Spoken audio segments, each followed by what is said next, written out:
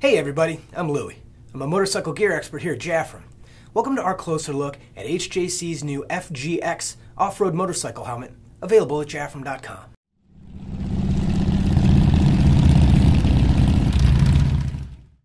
The FGX is another fine example of HJC's efforts to create helmets with many of the features of the pro level products, but at an affordable price. See, this lid is constructed using a Kevlar reinforced fiberglass composite shell, but yet somehow the price has been kept under 200 bucks. The Kevlar reinforcement has been strategically placed in high impact areas uh, the forehead area, both sides of the helmet in the center, and in the rear of the helmet starting near the bottom of the crown. Now, this construction method keeps the helmet down near 1500 grams. The helmet is available in three solid colors and three graphics with multiple color options per graphic.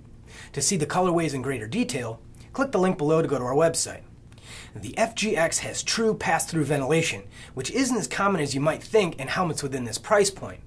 There's a total of six intakes, including the main chin vent, two additional chin bar vents, two eyebrow vents, one top vent, and three exhaust vents to extract that hot humid air. Now, what makes the ventilation pass through is this channeling in the dual density EPS. Now, pro riders Nate Adams and Kyle Chisholm both worked closely with HJC engineers to create this helmet, and there are two areas where it's easy to tell that this helmet was developed by riders on a track, and not just engineers in a lab.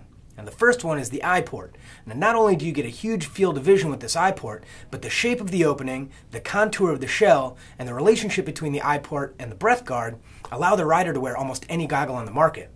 Now, the other feature is the liner. Now, the fit of this helmet is definitely race snug, but it's still really comfortable. And even with my long oval head form, I could wear this helmet literally all day, no problem. And the liner fabric is made using HJC's Silvercool technology.